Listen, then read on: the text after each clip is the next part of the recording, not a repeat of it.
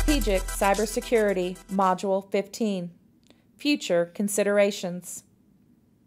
Once you have completed the readings, lecture, activity, and assessment, you will be able to articulate how understanding an adversary's domestic policy can help with cybersecurity, describe some future technologies that may increase our vulnerability to cyber threats. Welcome to Strategic Cybersecurity Module 15. In this final module of the course, we will look at some topics for your future consideration. By this point, you have surely realized that not only is the nature of cybersecurity technical, with cyberspace comprising a network of zeros and ones, but it also incorporates multiple disciplines from the areas of social science, humanities, and education. Cybersecurity analysis, whether in the public or the private sector, must be interdisciplinary if we have any hope of mitigating adversarial threats. As an example, an employee who understands Chinese domestic policy can help illuminate specific types of technologies that the Chinese government is interested in developing. This can then assist the U.S. cyber analysts in identifying and protecting those technologies on our own networks. Put simply, Knowing where our adversaries may be looking for proprietary information allows us to better protect it. Rosenzweig notes that, quote, no defense will ever be 100% perfect, end quote. However, taking a holistic, interdisciplinary approach to the cybersecurity problem will certainly lower our vulnerabilities. Of course, protecting proprietary information from adversaries is not our only concern.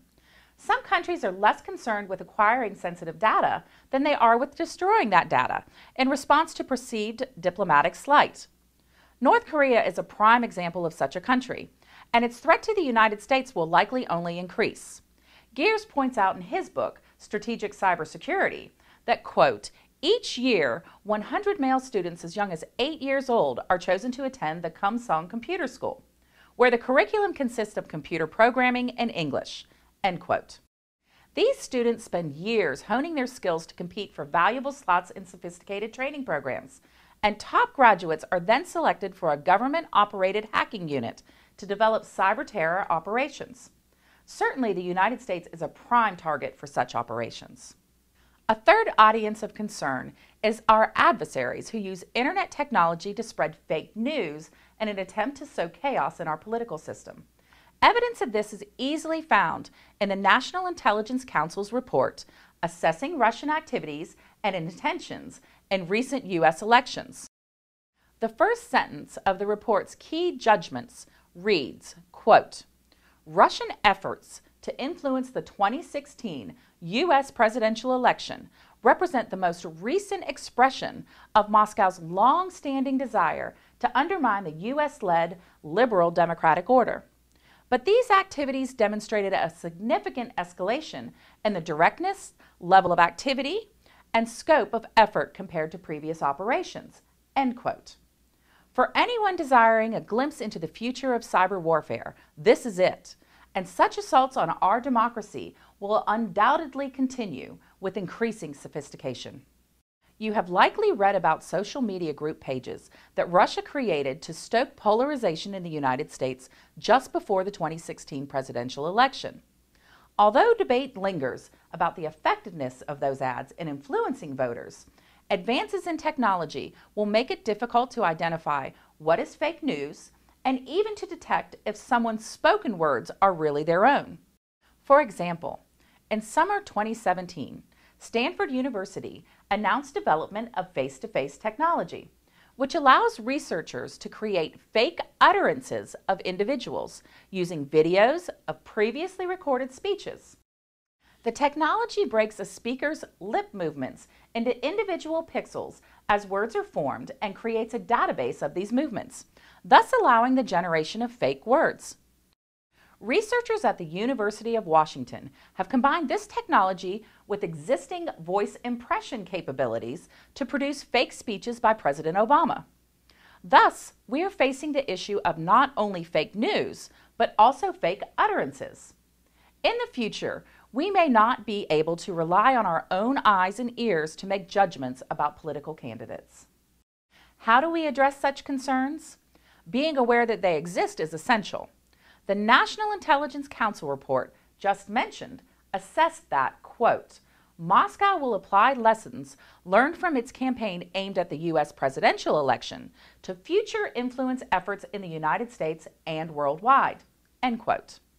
Russia's operation to sow political disorder in our country and in others is by no means finished. If this course, with its overview of many topics relevant to the field of strategic cybersecurity, has better prepared you for the next information attack by Russia or other adversaries, it has been a success. Thank you for your time and interest. We applaud your dedication to learning more about the field of strategic cybersecurity. Quiz question 1. Which of the following is considered the foundational element of a quantum computer? A.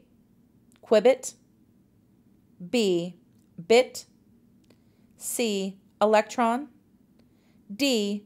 Transistor The answer is A. Qubit. Quiz question 2. Which of the following best describes why knowing an adversary's domestic policy may help increase our cybersecurity? A. It allows our country to better target our economic assistance and lessen the need for adversary nations to resort to theft. B. It helps increase familiarity between us and our adversary. C.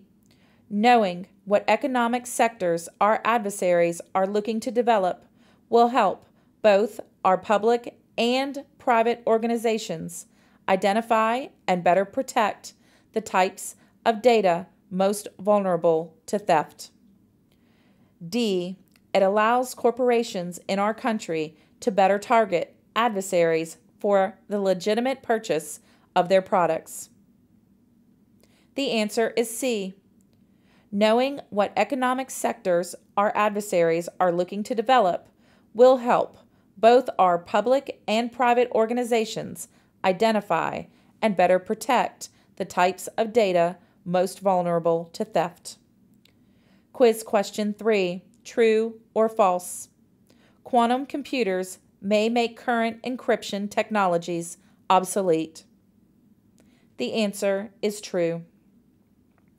The activity for this module asks that you write a one page reflection on how this course has informed your thinking on the following issues.